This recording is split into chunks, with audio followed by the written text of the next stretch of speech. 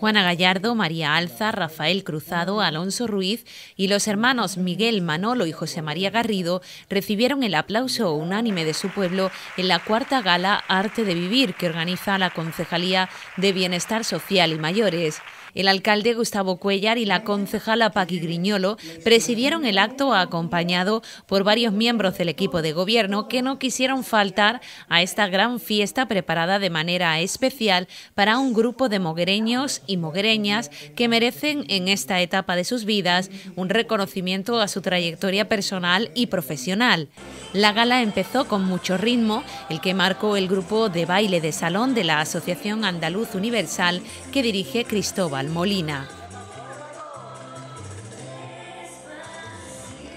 Con todos los homenajeados, en sus asientos comenzaba el primer reconocimiento de la noche. Juana Gallardo escuchaba su nombre en el patio de butaca y subía emocionada a recibir este merecido aplauso por su infinita capacidad de trabajo, por su espíritu emprendedor y por su compromiso con la vida sociocultural de Mazagón.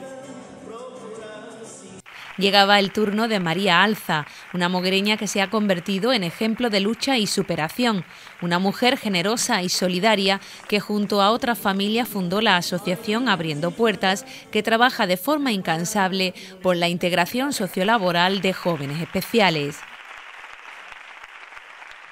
Era el turno ahora de rendir homenaje a un sorprendido Rafael Cruzado, un hombre ligado con mayúsculas al mundo de la cultura y la educación, que ha dedicado buena parte de su vida a hacer de Moguer un pueblo mejor formado y más rico en valores.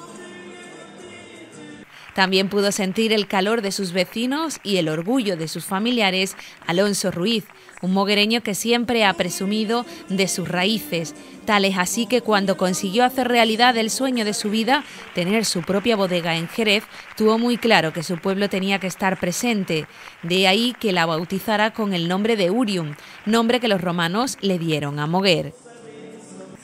La cuarta gala Arte de Vivir se cerraba con el homenaje a los hermanos Miguel, Manolo y José María Garrido, empresarios agrícolas que por su arrojo, capacidad de lucha y liderazgo contribuyeron a revalorizar el principal motor económico de nuestra localidad. Especialmente emotivo fue el recuerdo a Manolo Lacana, representado en el acto por su hija Laura, que dedicó a su padre unas hermosas palabras. La guinda perfecta, esta entrañable velada, la puso el dúo Palo Dulce Flamenco. Las hermanas Cecilia y Rocío González nos hicieron vibrar con la pureza y el embrujo de sus voces.